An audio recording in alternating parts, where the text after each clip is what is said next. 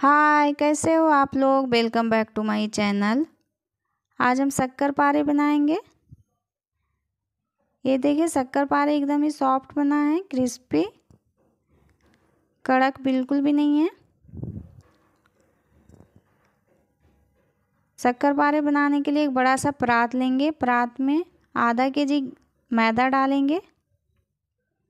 कटोरी से मापेंगे तो चार कटोरी मैदा है। इसमें चार बड़े चम्मच घी डालेंगे। घी को मेल्ट करके डालेंगे। चार चम्मच घी डालकर इसे मिक्स करेंगे। चुटकी भर नमक डालेंगे। नमक डालकर इसे हम मिक्स कर लेंगे।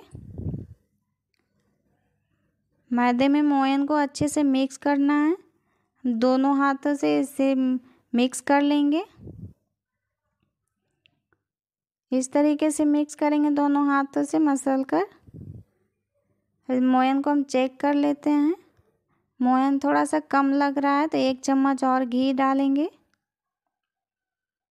एक चम्मच घी डालकर इसे हम मिक्स कर लेंगे। मोयन परफेक्ट हो गया है। लड्डू बनाकर देखेंगे। लड्डू बन रहा है। इसमें गुनगुना पानी डालेंगे। पानी को हल्का सा गर्म कर लेंगे, फिर डालेंगे। मैदे को गूँथ कर तैयार कर लेंगे। दस मिनट के लिए रेस्ट करने के लिए रखेंगे। दस मिनट के बाद मैदे को हम अच्छे से मिक्स कर लेंगे आटे को। इसे मसल कर तैयार कर लेंगे एक लोई लंबा सा। इसे चाकू से काट लेंगे। एक लोई बड़ा सा लेकर इसे हम बेल लेंगे रोटी की तरह। रोटी की तरह पतला नहीं बनाएँगे। इसे हम थोड़ा सा मोटा बनाएँगे।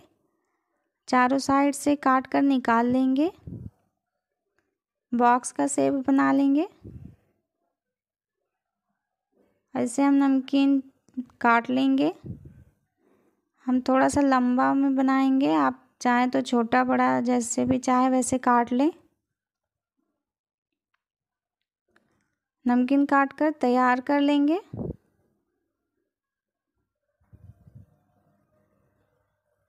हम इसे थोड़ा सा लंबा बनाए हैं। इसकी मोटाई भी आप देख लें, इतना ही मोटा बनाएँगे। ऐसे थाली में निकाल कर रखेंगे। इसी तरीके से सारे नमकीन काट कर तैयार कर लेंगे। तेल गरम करेंगे। तेल में नमकीन डालकर इसे हम फ्राई कर लेंगे। एक मिनट के बाद इसे हम चला लेंगे। नमकीन को दोनों साइड से गोल्डन ब्राउन होने तक फ्राई करेंगे।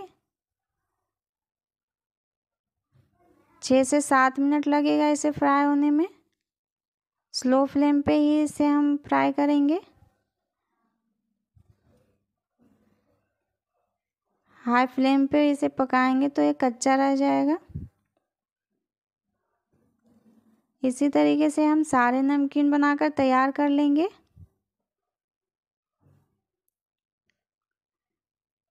दूसरे बैच में भी हम इस तैयार कर लिए हैं, ये भी गोल्डन ब्राउन हो गया इसे निकाल लेंगे। वैसे मीठा बनाने के लिए एक पैन गरम करेंगे। पैन में दो कटोरी शक्कर डालेंगे।